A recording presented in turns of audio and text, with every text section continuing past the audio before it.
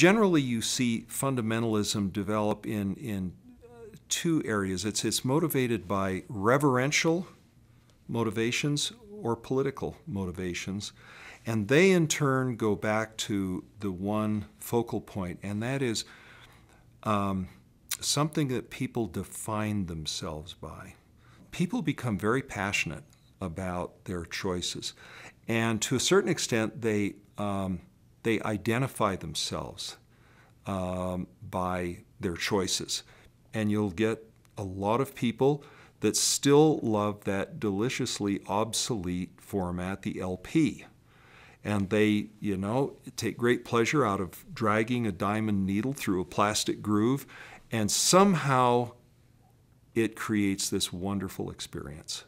It's so technically imperfect that it's almost ludicrous, and yet it can be a thing of immense satisfaction and musical insight. Uh, and further down the, the chain, we have people that um, love solid state, uh, direct coupled designs, and other people at the other extreme that, that love transformer coupled single ended triodes. And if it's more than about two watts, it's probably wasted power. and, and it makes for fun discussions, especially among people who can accept the reality that their interpretation really isn't the absolute truth with a capital T. It's their taste, and there's room enough in this world for all these wonderful different ideas and tastes. But when you start uh, building this wall around yourself and, uh, and uh, getting uh, a, a, defensive mentality about it, uh, and that you're threatened by other designs, now getting into the world of loudspeakers, then, then I think it, it, it becomes counterproductive to to a music lover's enjoyment of their music uh, or to a manufacturer's um, ability to uh, coexist with dealers and, and colleagues uh, within the field. People find that they can get a stronger response if they state something in absolute terms and confrontational terms.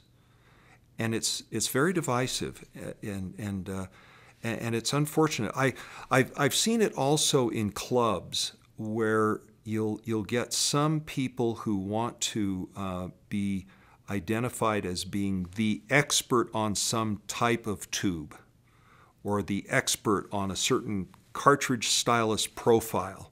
And I know that almost sounds silly, but it's not, it's not exactly far from, far from the truth. Uh, in the world of loudspeakers, you very often see it in, in terms of uh, uh, you know, first order crossovers as being the only way. And there are usually uh, uh, you know, technical reasons given for it, many of which are valid. Um, but what is underplayed are the shortcomings of that, which are also valid. Uh, I'm reminded of a of a question um, that a banker asked me once.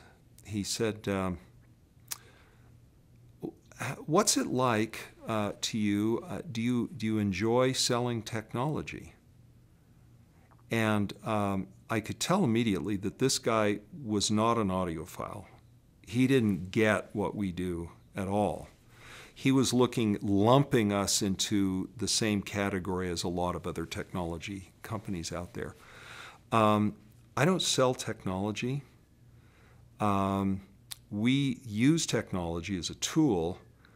I said what we sell is quality of experience.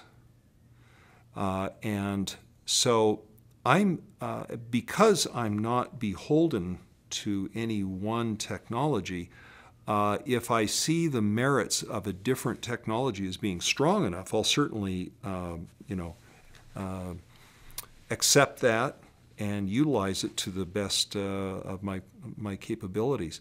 I think that fundamentalism is probably always going to uh, exist in any field where people get passionate, in any field where people um, create some of their own identity with it because they're defending themselves and they're defending their positions.